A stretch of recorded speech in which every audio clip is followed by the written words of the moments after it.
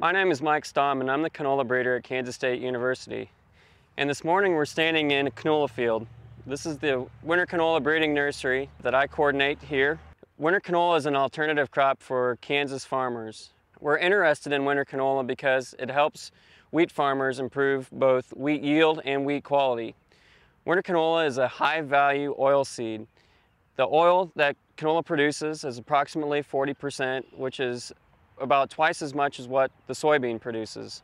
Canola oil is a very healthy oil for consumers here in the United States as well as around the world. We're encouraging farmers to grow winter canola because of its rotational benefits with wheat, as well as produce a healthy cooking oil for consumers. We import approximately 80% of the canola oil that we consume in the United States, so it makes sense for farmers in the southern Great Plains to grow more winter canola.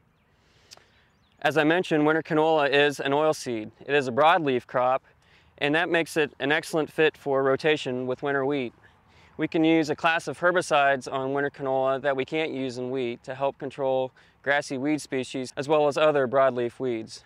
There are both conventional and Roundup Ready winter canola available for growers here in Kansas. As you can see, we're in the flowering stage of canola's growth and development. Approximately 70 to 80% of the flowers have, have gone ahead and are now producing pods as you can see here on this raceme. This is really what we want to see. Of course the flowering stage is, is the most beautiful stage of canola growth and development but what we're really interested in is seed development and oil content of the seed. So as you can see here, canola is an indeterminate crop.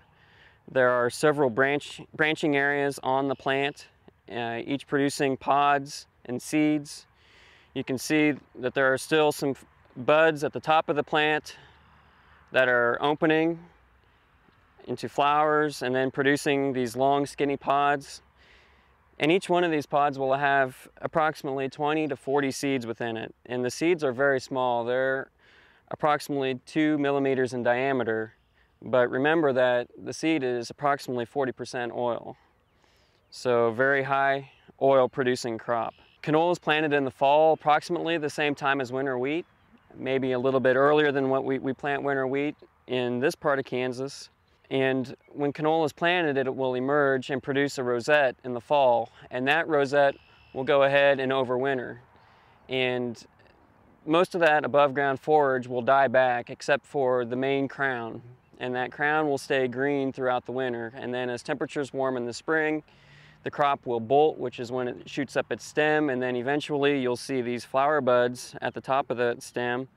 And as the crop gains height, the flowers will start to open, you'll start to produce pods, and the process goes from there.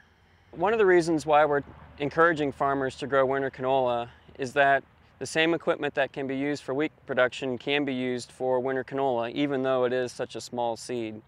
Farmers can plant and harvest winter canola with the same drills and, and combines that they use to plant and harvest winter wheat. Canola is a crop that we don't want to grow continuously. We want to grow it in rotation, and it makes an excellent rotational crop with winter wheat because of the different classes of herbicides that we can use in winter canola to control weeds that are often troublesome in winter wheat. Canola is a broadleaf, wheat is a grass, and so when you grow those two crops uh, in combination together, we see a real benefit to that whole system. Canola has a taproot, and that taproot can mine deeply for water and nutrients that are, are buried in the soil that a wheat root system often can't get to. And canola, we believe, has the ability to bring those nutrients and water up closer to the surface and therefore uh, subsequent crops that are planted after canola can benefit from those, those nutrients that are brought closer to the soil surface. In these two plots that I'm standing in front of, you can see a difference in maturity, and that's one of the traits that we're interested in developing in our, our varieties. We want a range of maturities for growers so that they can spread out their risk. Have some varieties that are early that will come out before wheat harvest and others that may come, in, come out about the middle of wheat harvest. And you can see in this plot to the right of me, you can see more pods developed than what you can see here in the plot to the left of me. Uh, that's an indication of maturity. This, this variety here on the right flowered earlier, producing more pods here than what the variety is on the left. Canola is a crop that can be grown in different row spacings, anywhere from seven and a half to 15 to 30 inches. The reason why farmers would grow winter canola in 30 inches is to gain the benefits of using a planter to seed it. And those benefits are the ability to move residue out of the seed row, as well as better control of planting depth, as well as metering of seed. There are a number of farmers now that are growing winter canola on 30 inch rows in Kansas. They're treating it more as a row crop than they are a crop that we would solid seed like, like winter wheat. Seeding canola on 30 inches gives farmers another, a number of other options as well. Things like using strip tillage to apply nitrogen deeply into the soil. That works really well for moving residue out of the seed row, which is a benefit to winter canola survival. Another trait that we are interested in with our winter canola breeding program is plant height. And as you can see, winter canola comes in a wide range of plant heights.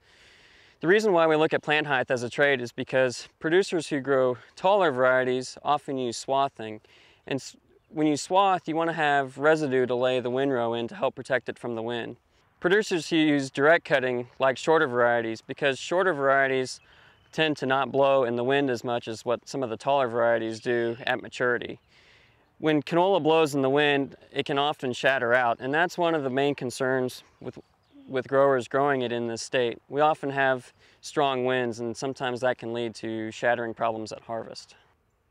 With winter canola being a new crop here in Kansas, there are new insects that we have to be aware of.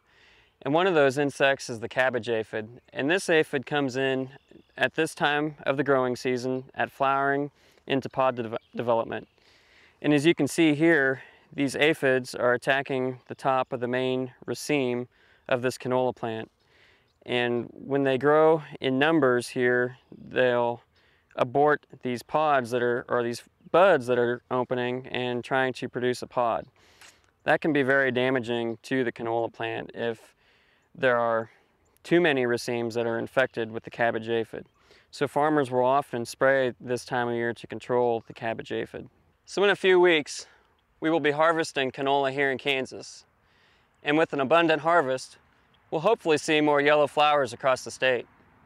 This is an alternative crop that has a very high value.